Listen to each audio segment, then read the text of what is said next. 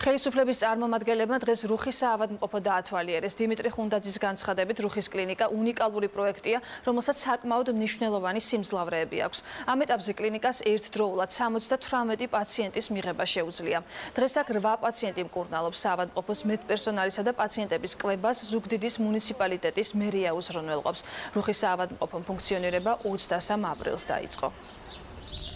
ეს მეტი ზაბარენ.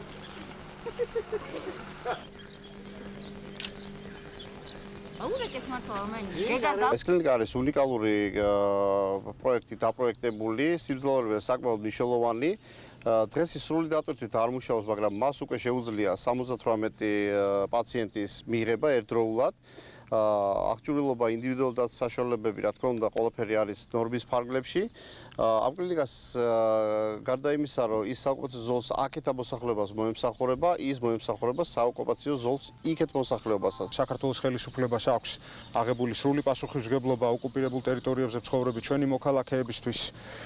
ხარისხიანი სამედიცინო მომსახურებაზე წლომის უზრუნველყოფას ჩვენ წლები ამას ვაკეთებთ და დღეს COVID-19-ის პირობებში განსაკუთრებული მნიშვნელობა ენიჭება მათთვის ხარისხიანი სამედიცინო მომსახურების გაწევას. რუხის კლინიკას ამ კუთხით აქვს განსაკუთრებული დატვირთვა, განსაკუთრებული მნიშვნელობა. ზუგდიდის მერია სრულად აფინანსებს ამ ეტაპამდე კვების ხარჯებს, როგორც პაციენტების, ასევე მედპერსონალის, ასევე ჩვენ მედპერსონალისთვის სპეციალურად ზუგდიდიდან დავაყენეთ ავტობუსი, რომელიც ემსახურება ამ საავადმყოფოში მომუშავე თანამშრომლებს